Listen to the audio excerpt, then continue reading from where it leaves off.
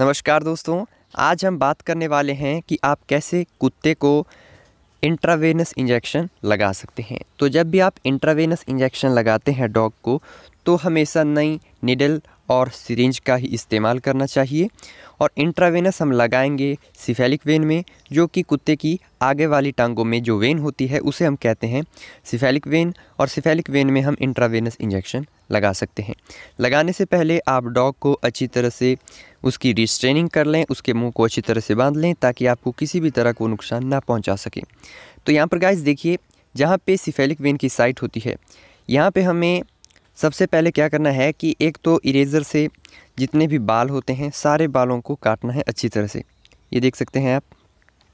When के चारों तरफ़ से हमें बालों को काट लेना है और काटने के बाद वहाँ पर हम स्पिरिट्स या किसी भी एंटीसेप्टिक लोशन से वहाँ पे हमें साफ़ करना होता है। साफ़ करना होता है और इंट्रावेनस लगाने के लिए यहाँ पर हम इसको फ्लूड थेरेपी दे रहे हैं और यहाँ पे गाइस लगाने के लिए हमेशा निडल और सिरिंज जो होती है वो बिल्कुल स्टेराइल होनी चाहिए। पुरानी किसी भी निडल का आप इस्तेमाल नहीं कर सकते हैं। यहाँ पर आप कैनोला या 22 नंबर की निडल का इस्तेमाल कर सकते हैं। ये आप देख सकते हैं, ये हमने वेन को रेज कर लिया है, जो कि आपको उभर कर दिख रही है। ये वेन है और इसी वेन के अंदर अब जो निडल है उसको लगाएँगे। तो कैसे लगाते हैं, वो भी आपको पूरा प्रैक्टिकली यहाँ पे देखने को मिल जाएगा। तो जैसा आप देख रहे हैं, ये ये हम इसमें लगा रहे हैं, ये आप देख सकते हैं। इसमें जैसे ही हम इस कैनुला को लगा रहे हैं, देख सकते हैं आप, बिल्कुल सीधे से हमें धीरे धीरे करके अंदर की ओर डालना है।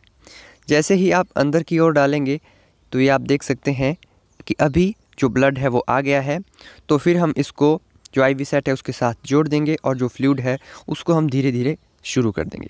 अब यहाँ पर डॉग अगर मूवमेंट करता है तो यहाँ पर हम जो टेप आती है, इस टेप को हम इस कैनुला के चारों तरफ़ से लगा लेंगे। लगाने का मकसद ये है कि अगर ये मूवमेंट भी करता है तो मूवमेंट करने के बावजूद भी इसकी जो कैनुला है वो ना हिले और जो फ्लूड हम इसको दे रहे हैं, वो चलता रहे।